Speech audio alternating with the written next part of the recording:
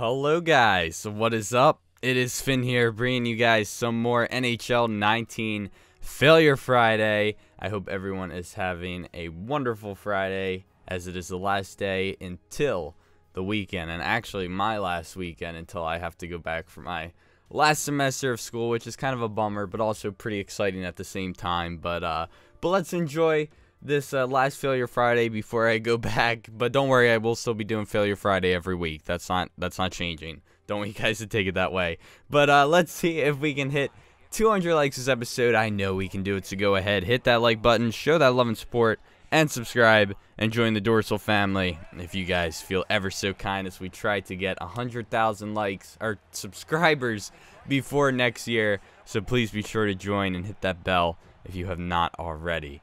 All right, let's go ahead. Oh, and also remember if you guys have any clips, make sure to submit them to NHL Failure Friday at gmail.com. All right, now let's go ahead and take a look at our first submission. So take a look at this absolute robbery of a goal, and I'm not talking robbery as in a save from the goalie, but a glitch, of course. Take a look at this. This guy looks like he's got an easy backhander, but instead it goes through the net, and it didn't look like it counted either. So that absolutely sucks. All right, so I know I've probably said this before, but this might be it.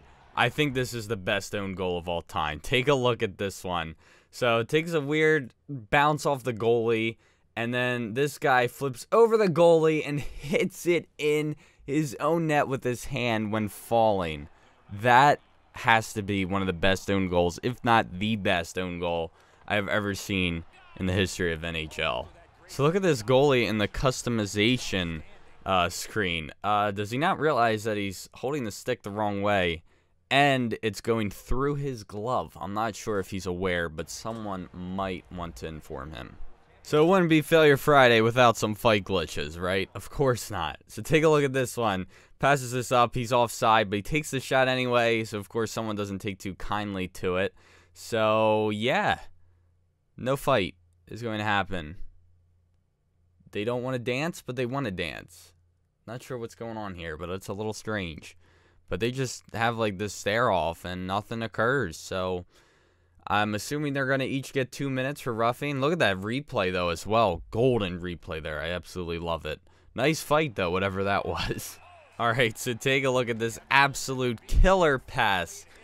Beautiful right here. So it looks like they got the goalie pulled or it's a uh, delayed penalty, one or the other. So he's going to pass it. His teammate misses it, goes by absolutely everyone and I'm sure we all know what's going to happen here. As you can see, there is absolutely no goalie in the net, so that is going to go right on in for a good old own goal. Gotta love it. I also had to show another one of these clips of just a player taking an absolute beating from his own goalie. How about that? I, ha I had to include that one, guys. It had to happen. Also, I guess this could kind of go as a fail. I'm playing shootout with this guy, and I don't think he enjoyed playing against me as the game paused and I thought to myself, is he really going to?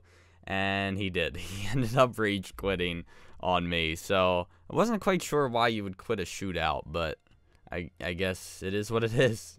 Alright, so take a look at this fight. We got these two guys going after each other, right?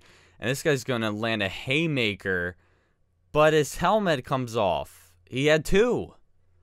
He was double protected wow, I don't know what uh what how he managed to do that, but I got to give the power to him. I don't know how you can get two helmets on at once, but very impressive, I must say. How about this perfectly timed backflip for a celebration by Bailey? B backflipping over Youppi at the most, you know, perfect time. You can't really complain about that. I mean, he, he did go through him a little bit, you know, looked like the head did definitely go in his butt a little bit, but hey, I he still landed okay. All the mascots seemed unharmed, so nice. I guess that was a success. So get a load of this absolute goon. Look at this dude. This guy is just going absolute ham on every player. This guy just runs into him and goes down. This guy he hits, but he's not done. He he's not had enough. That's three guys he's taken out. Make it four a little bit, not as much, and then he's got the puck. So after all that, he takes the puck away and just absolutely rocks four guys. So yeah, how about that? I, that's a guy I want on my team. So not sure if this is more skill or bad goaltending, but it's definitely bad goaltending. Take a look at this. He just flicks it back open for the best. And goalie decides to move his stick away from the puck. So yeah, very poor goaltending if you ask me. Definitely could have been a little bit better. So it really seems like the helmet glitch has some good luck to it. Because take a look at this guy. So he's just standing in one spot, right? And then the helmet just decides to go. And once it goes, he's going to end up, you know, pummeling this guy. Picks up the puck. And then what does he do? He helps get his team a goal. Looks like he picked up an assist there. So it looks like you're going to be getting a point if that helmet glitch. Because I, I remember seeing someone, I think it was last Failure Friday or at least one of the previous ones we saw a player get the helmet glitch and he ended up scoring. So looks like it's got some good luck to it. So uh, take a look at this very impressive goal, even though I don't think it was very intentional, which makes me think that uh, it probably did count.